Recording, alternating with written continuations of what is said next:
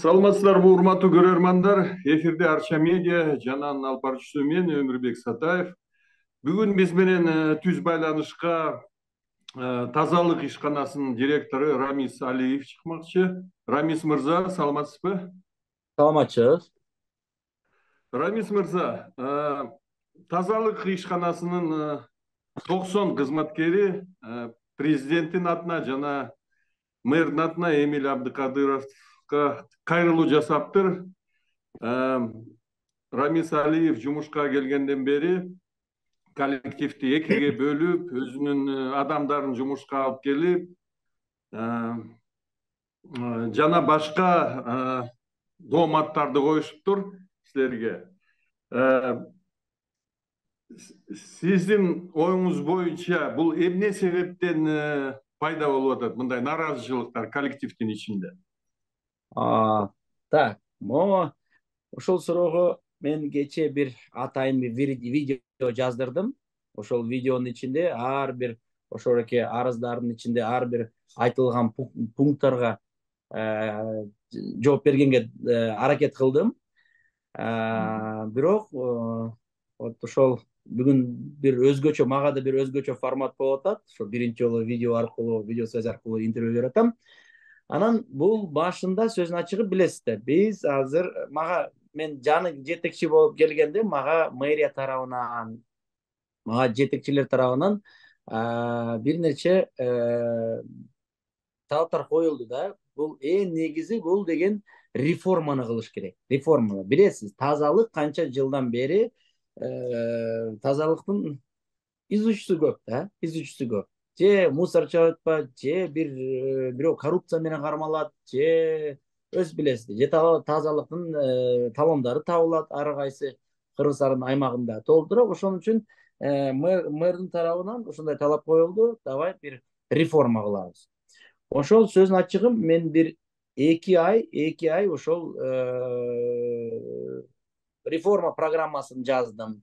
Жумушту жакшы түшүндүм. Өзү билесиз буга чейинки мен өз мансабымы укук коргоо органдарында баштагам анан темир жолдо да иштедиңиз ооба анан кийин темир салык кызматы каржы полициясы темир жолу анан кийин буяка келдим анан кийин көрсө реформа кылганда кээ бир тилекке каршы кээ бир ишкерлер ошого нааразы болуп атат бирок кечеги кечеги чыккан ошол нааразынын себеби бул деген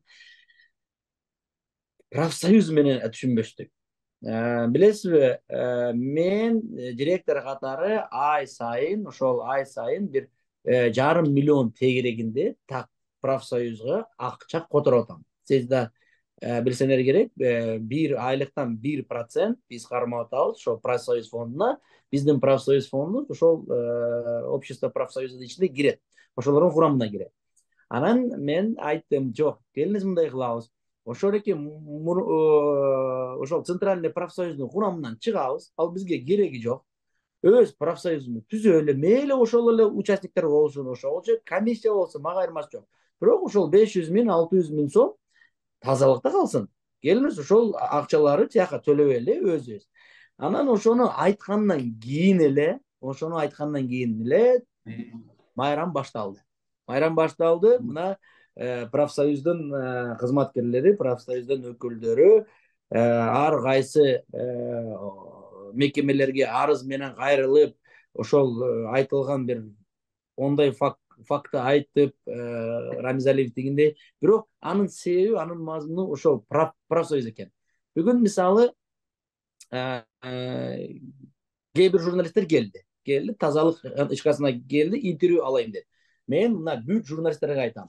Экинчи тарапты да карагыла мисалы ошол эле профсоюздун жанына барып анын интервью алып туруп мына токсон беш киши токсон беш кишиден ну хотя бы беш кишини алып келсинчи хотя бы беш кишини угайлы тигил беш киши карапайым байкуш тазалыктын ишкерлери даже понятие билбейт эмне деген реформа кимди алып келди кайсы алардын эле өз эме милдеттери бар алар өз милдеттерин аткарат мисалы ошол токсон беш кишинин списоктун кааласаңыз мен сизге берем же өзүңүз келиңиз жолугуңуз мен бүт баарын жалпы журналисттерге айтып атам сурап коюңуз эмне менен нааразы айлык канча болчу былтыр азыркы айлыгы салыштырсын шарттар кандай түзүлдү кайсы фактор менен директорго таптакыр макул эмес ошону мисалы бүгүн эки журналист аракет кылды бирок тилекке каршы биздин профсоюзубуз ошого эме интервью бербей коюшту да. Интервью бербей коюшту. Ошол конфликттин башы ошол эме экен. Ошол профсоюздан чыгабыз деп атабыз. Анан ал биринчи маселеси. Анан экинчи маселе бул үч күн мурун мен бүт мастерлер деп коет. Бул дворниктердин караган кишилер. Ошолорду ротация кылдым ротация кылып туруп ошол бүт мастерлер район райондор менен алмаштырдым негизи ал мындай бир ар бир мекемеде бир мына ушундай тажрыйба бар экен мисалы налог налоговиктер жакшы билет аны ошол коррупционный схемаларды жоюш үчүн жылда бир жолу эки жылда бир жолу алмаштырыш керек. Участок ошол ошол өрт чыккан жер ошол экен рамис мырза демек конфликттин түбү ошол профсоюздан чыгып аткан турбайбы ооба менин түшүнүгүм боюнча ооба профсоюздан чыккан анткени а бирок сиз өзүңүз жетекчи катары жумушчуларга жумушчуларга түшүндүрдүңүзбү эгерде биз жанагы чоң профсоюздан чыксак өзүбүзчө түзсөк анда бизге кайра жакшы болот. Коллективге да ошол акча калат билесизби эмечи ооба ооба жок негизи негизи эл ошону билет эл ошону билет өзү анткени мен түшүндүрдүм даже профсоюздун курамына мен тийишпейм ким кирип атат ошол эле кишилер кирсин ради бога ошол эле кишилер кирсин тескерисинче мага жардам керек. Анткени өзү билесиз да бул акыркы убакта тазалыктын тазалык өзү кичине популярный болуп калды. Интернетке көп чыгып атабыз эл көрүп атат эл бизди мактап атат биздин жумушка баа берип атат. Ошол себептен ачык айтсам бир төрт миллион сомдун тегерегинде спонсорлук жардам келди. Ошол спонсорлук жардамды бөлүш үчүн мага да профсоюз керек. Ошол спонсорлор мен спонсорлордон алып келем алып келген белектерди сыйлыктарды ошол профсоюзга берсем профсоюз өзү бөлсүн кимге бөлсүн айырмасы жок анткени өзү билесиз да тазалыктын иштеген саны бир миң беш жүз киши болуп атат. Ошол себептен бир миң беш жүз кишиге кичине спонсорский жардамы распределениеде кыйын. Ошого профсоюз керек сөзсүз. Профсоюз ишкерлердин укуктарын коргош керек сөзсүз. Профсоюз керек. Бирок мен дагы эле өз сөзүмдө турам центральный профсоюздан чыгыш керек. Өз профсоюзду создавать этип туруп өзүбүз эле айырмасы жок алиев кирбейт даже тияка айткам мен протокол айткам мен өзүм кирбейм тияка мен жетекчи катары кирбейм өзүбүз бөлүшкүлө эме кылгыла давайте ошол эле беш жүз миң сом өзүбүз бөлүшөлү бирок көрсө бирок көрсө кээ бир эмелер профсоюздун өкүлдөрү ошол менен таптакыр макул эмес. Түшүнүктүү рамис мырза ошо сиз келгенден бери жумушчулардын айлыгы канчага көбөйдү айлыктар жөнүндө айтып кетсем мисалы азыркы мисалы былтыр былтыр алган айлыктар менен салыштырсак тазалыктын бир миң беш жүз элүү төрт кызматкердин айлыгы почти эки эсе көбөйдү кээ бирлеридики үч эсе. Мисалы кимди айтайын сизге? Мисалы айдоочулар болсун айдоочулар эгер билесиз да биз акыркы убакта сдельный сдельный оплата деп киргиздик то есть айдоочулар ошол канча таштандыны чыгарды канча тонна чыгарып туруп ошого жараша айлыкты алат жүз жыйырма беш сом бир тоннага биз бааны бекиттик анан өзүңүз уккандай өзү көргөндөй кээ бир айдоочулар сексен беш миң сексен алты миң сомдон алып атат азыркы убакта бул жакында биз ошол жүктөөчүлөрдү грузчиктарды да ошол эле системага өткөздүк жүз кырк үч сом бекиттик бир тоннага жүз кырк үч сом анан где то бир алтымыш алтымыш беш миң сомдун тегерегинде азыркы учурда айлыктары болуп калды дворниктер жөнүндө айтып кетсем алардын айлыгы бир жетимиш сексен проценти көбөйдү жетимиш сексен процент калган бүт штат штат. Калганда грузчиктер саначесканда грузчиктер бар мисалы былтыр он сегиз миң сом болчу азыр отуз беш миң сом болуп калды айлыктар жакшы эле көбөйдү бул жакта сөздүн ачыгы менин да мындай заслугам көп эмес анткени бул деген мэрия тарабынан бизге кошумча эки жүз элүү миллион сом да бөлүндү ошондо айтыш керек мэрдин демилгеси менен эки жүз элүү миллион сом бизге бөлүндү кошумча анан дагы бир сизге доомат койгон нерсе бул чипирование деп атат ооба. Чипированияны эми койгондо бул биздин эркиндигибизге доо келтирет деп жазышыптыр. Ооба. Мунун кажети мунун кажети бар беле чипирование бул кылганга? Чипирование сөзүнүн ачыгы кичине туура эмес маалымат чипирование. Бирок эмечи шамал болбосо дейт биринчиден биринчиден билесизби биз азыркы учурда мындай тазалык ишканасы толук цифровизация өтүп атабыз мисалы понедельниктен баштап мына уже бүгүнкү күндөн баштап уже бүгүнкү күндө бирок понедельник рекламасы чыгат все бүгүнкү күндөн баштап биз кагаз түрүндө квитанцияны жоготтук азыр электронный формада алсаңыз болот бүт баары соткага приложение закачать этип туруп киргиздик анан кийин буга чейин ар бир тазалыктын машинасына ар бир тазалыктын машинасына дуд программа киргизилди коюлду бул деген датчик учета топлива. Ар бир ошону киргизгенде кээ бир айдоочулар нааразы болгондор да бар болду неге биз не ошол эле биз кулбузбу кимбизби биздин артыбыздан gps датчики бирок анын жыйынтыгы мына беш айдын ичинде мен өткөн мындай расмий түрдө маалыматты бердим беш айдын ичинде производственный базадан алтымыш беш тонна экономия бензин болуптур алтымыш беш тонна бирок тилекке каршы ошол ким сливать эткен кишилерди кармап увольнение кылып изучуу кылып анан кийин могу цифралар келди алтымыш беш тонна алтымыш беш тонна ой это алтымыш үч тонна алтымыш үч тонна бул экономия беш айдын ичинде анан кийин ауп управленческий персонал мен да ошол мен менин замдарым начальник отделдордун бизден бизден биз алган бензинден эки тонна эки тонна экономия болуптур эки тонна элестеп коюңуз ошол бүт ошол цифровизациянын пайдасы анан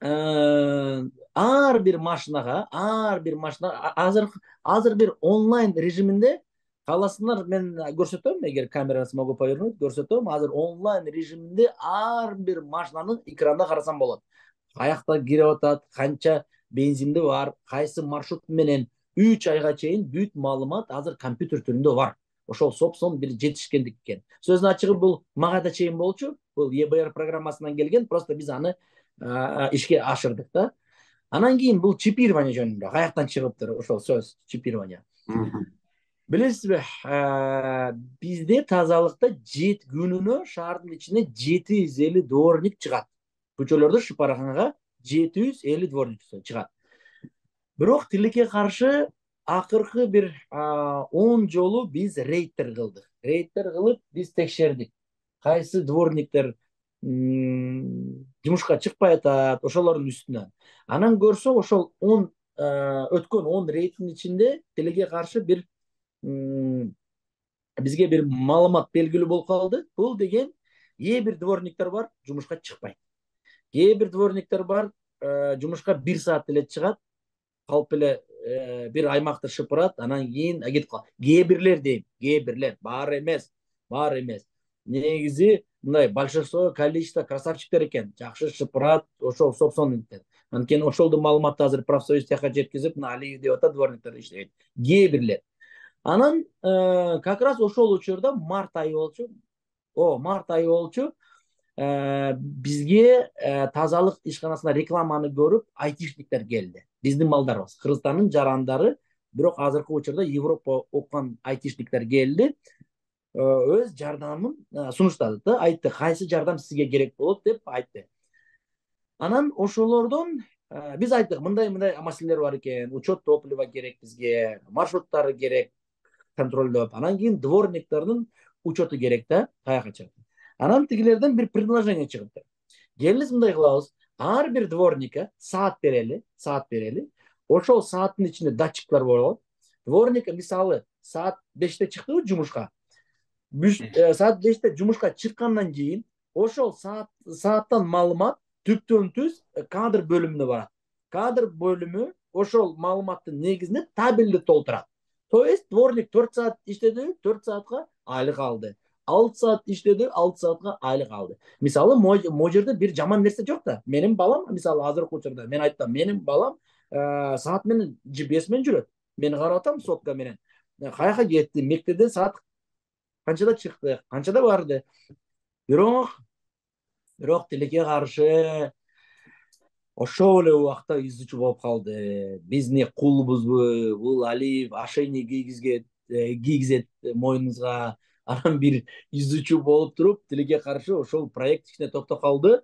Ошону эле туура эмес маалыматты жеткизип ошол дворникте бирок жакшы дворниктер эле сразу айтты. Пожалуйста алиев текшер мына иштеп атам айлыгым азыр жакшы.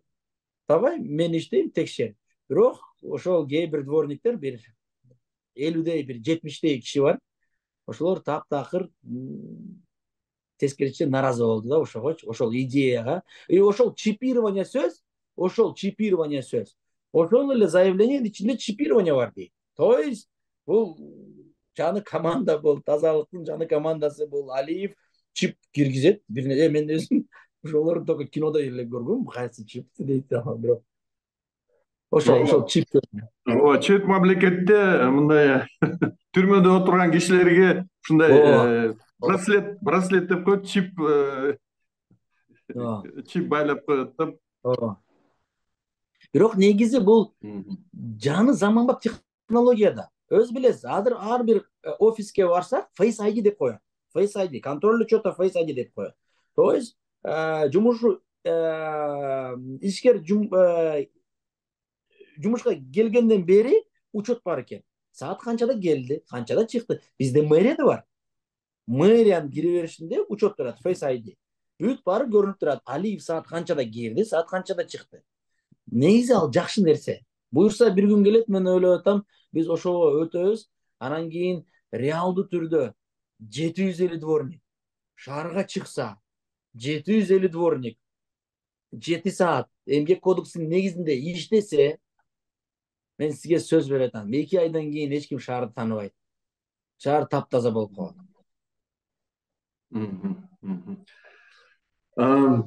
рамиз мырза сиз келгенден бери кандай өзгөрүштөр болду эң мындай чоң көбөйлөр чечилип атабы дагы алдыда кандай проблемаларды чечиш керек ушул тазалык тармагында сөзүн ачыгы мен тазалыктын проблемалары жөнүндө чоң презентация кылгам келгенде. Тазалыктын маселелери көп.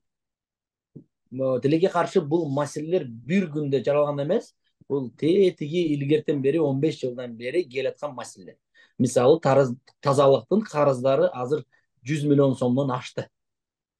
Соцфондо да карызы бар экен поставщиктарга карызы бар экен ички карыздары бар экен толтура карыздары бар экен бирок мен айттым бул бир жылдык карыз эмес мага чейинки директордун да күнөөсү жок ага чейинки да директордун күнөөсү жок бул келаткан келаткан маселелер болуп атат эки миң он бешинчи жылдан бери бир да контейнер тазалыкка алынган жок бир да жаны техника алынган жок бир да жаны контейнерный аянтча мындай сырдалган же эме эле болгон жок да бирок кудайга шүкүр биринчи жетишкендик бул деген сөзүнүн ачыгы кенешке рахмат айткым келет анан кийин эмилбек мырзакуловичке декабрь айында декабрь айында бизге жүз жетимиш миллион сом бөлүндү отуз беш заманбап жаңы техниканы алдык сизде ошол техника келди акыркы техника өткөн жумада келди отуз беш ооба отуз беш маселени чечкен жок бирок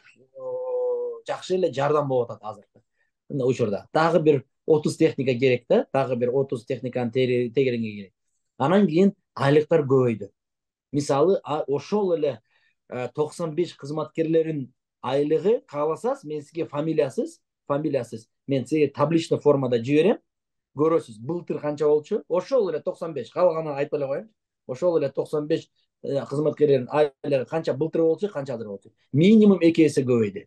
Эки эсе көбөйдү ошол да бир жетишкендик анткени мэрия тарабынан бизге эки жүз элүү миллион сом бөлүндү анан кийин биз учетко баратабыз учетко наконец то бизде мындай ар бир машинага дут коюлгандан кийин экономия азыр гсмдин экономиясы кетип баратат наконец то биз тазалыктын таштанды чыгаруудан башка толтура услугалар бар экен толтура услуга бүгүн эле мен анализ кылдым бүгүн эле анализ кылгам билесиз да тазалык биотуалет бар флаг бар ограждение эме сууну ташыйбыз толтура эмелер услугалар бар экен мисалы айтайынчы мына мисалы былтыр ошол услуганын ошол услугадан эле сегиз жүз миң сом эле акча түшкөн. Азыркы учурда бир жарым миллион сом болуп калды. Бул деген учет. Анткени ар бир машинада датчик бар. Анткени жаңы учет системаны киргиздик. Азыр буюрса электрондук квитанция киргенден кийин. Ошол анан билесизби тазалыктын абонентский база деп коет. База. Канча эл тазалыкка төлөйт. Ошол таштанды чыгарууга канча эл. Ошол акыркы он жылдан бери беш жүз кырк миң турат. То есть беш жүз кырк миң тазалыкка төлөп атат. Ошол мусорго төлөп атат. Анда ичинде недоимка бар тиги бул ошол любой бир кыргызстандын жанагынан сурасаң билет бишкек шаары бир жарым миллион калктан ашты. Бирок тазалык дагы эле турат беш жүз кырк миң. Анан ошол ошол эле арыздын ичинде бир пункт бар рамиз алиев отуз кишиге выговор берип сөгүш бериптир дейт. Выговор бериптир ошол абонентский базага байланыштуу болчу ооба мен бир чогулуш өткөздүм билесиз да ошол алтымыш жети инспектор ошол кезде болчу азыр октябрь району кошулду сексен беш инспектор бар. Тазалыктын сексен беш инспектору ошол бишкек шаары бөлүнгөн сексен беш инспектору. Ар бир инспектордун бир бир аймагы бар экен да.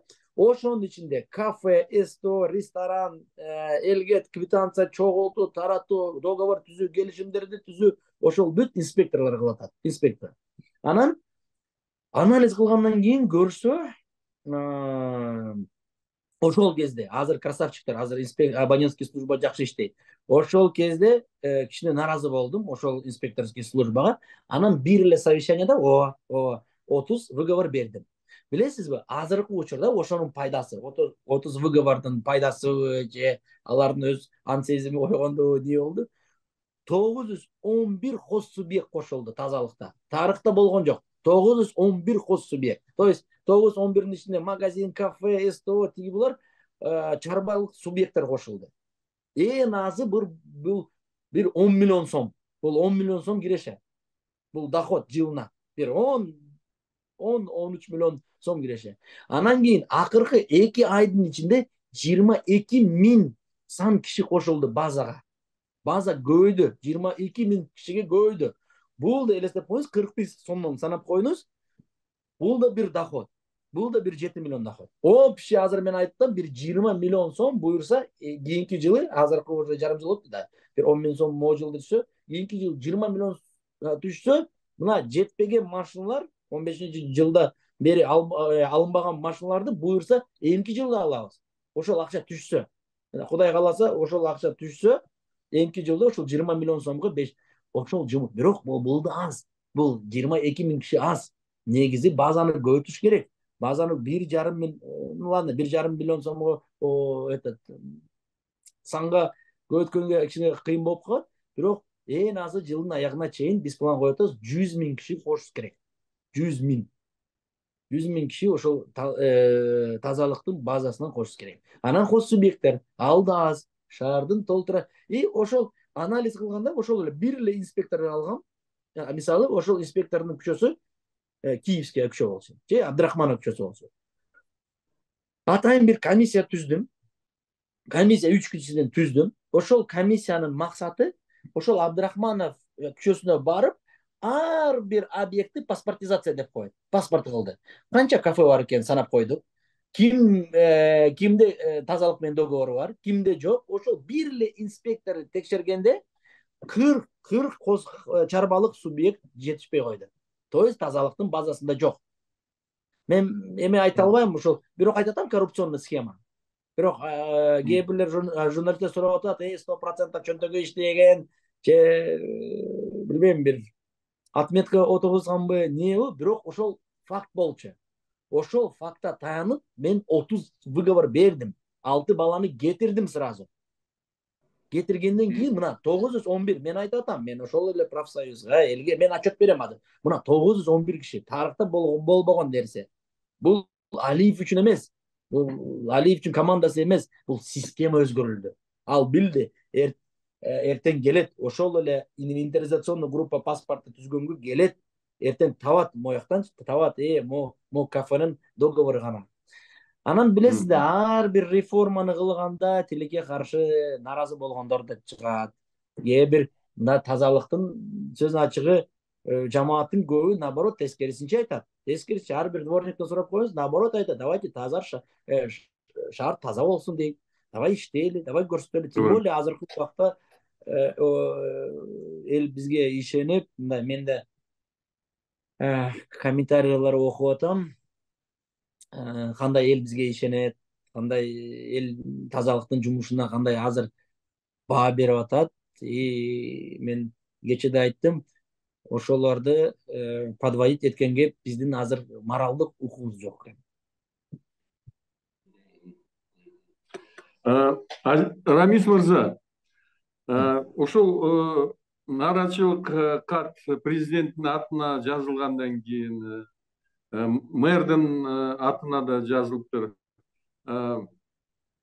ошол эмил абдыкадыров менен сизде сүйлөшүү болдубу ушундан кийин ооба болду ал билет шеф шеф тескерисинче ар бир реформаны колдоп атат ар бир реформа мисалы мен жөндөн жөн эле ошол башыма келген бир реформаны кылган жокмун биринчи биз программаны түздүк бизде менин өз курирующий вице мэрим бар шамыралиев шамыралиев менен биринчи шамыралиевке программаларды көрсөттүк көрсөттүк анан кийин эмилбек абдыкадыров ошону бекитти көрсөттү и мейли мону мону кылгандан кийин мындай результатка чыгабыз анан ошону шеф бекиткенден кийин эми азыркы ошол реформаны баштадык ошол эле учет ошол эле гсмдин экономиясы сөзсүз эмилбек мырзакулович ошол баардык контролду кармап атат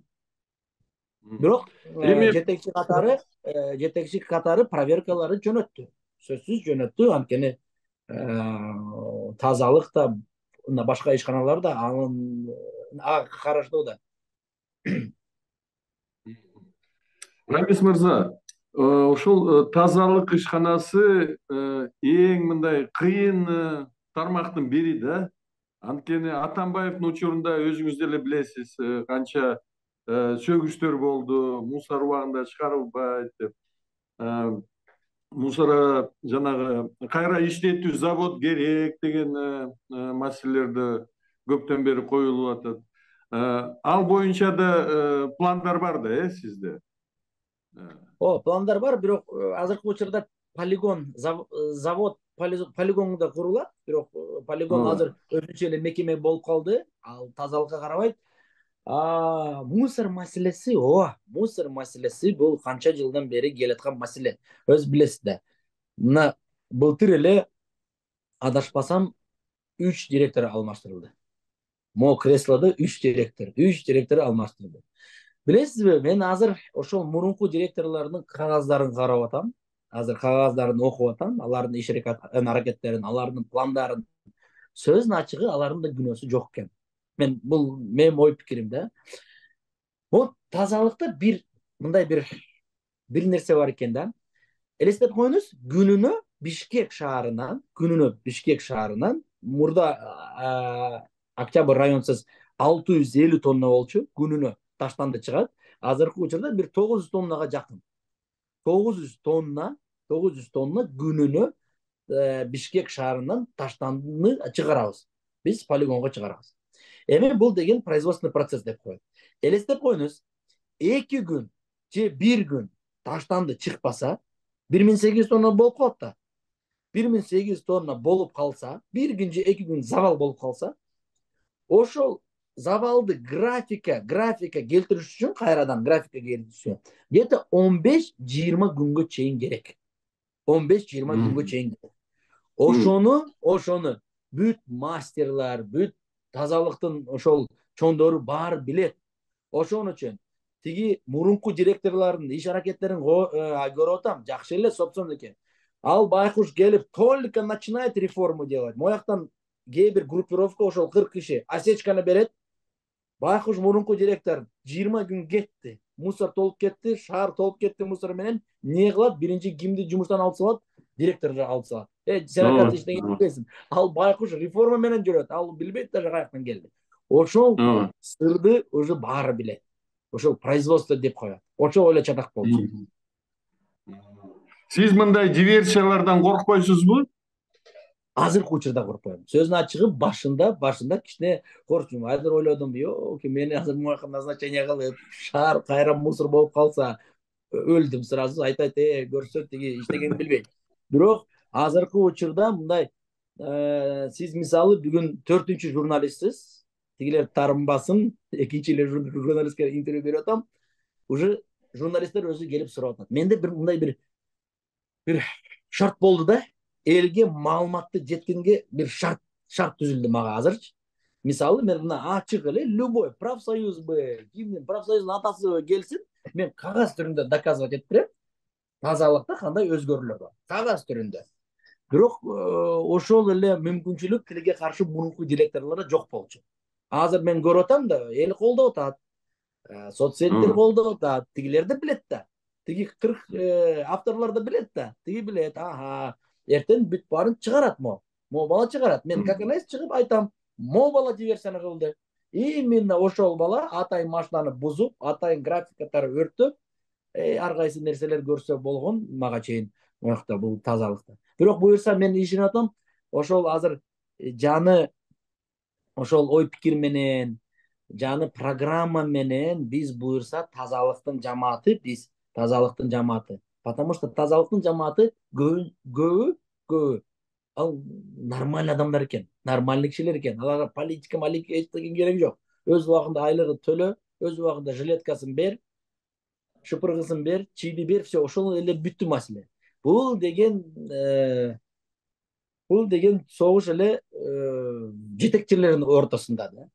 Жетекчи түшүнүктүү рамис мырза мен да комментарийлерди окудум сиздин жооп бергениңиздин интервьюнун жана соц тармакта берген жооптун алдында көбүнчөсү сизди колдойт экен жакшы баа берип атат менин оюмча бул ушул